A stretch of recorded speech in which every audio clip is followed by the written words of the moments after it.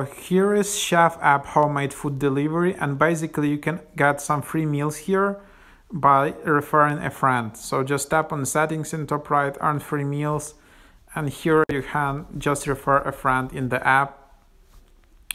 Give 20, get $10, earn $10 in credits when a friend signs up and places an order using your referral link. Your friend gets $10 off their first two orders, 20 uh, dollar in total. So here you can just share your link. So this is my link. Uh, you can use it shef.com slash refer G. You can just refer a friend by email. You can add some code. Yeah, so use that if you're using Shef app. And this app is not that popular at the moment. It's not like Uber Eats or like you know DoorDash that everyone, a lot of your friends maybe once in a while tried it out. This app is not that well known so definitely you have a chance to refer friends. Uh,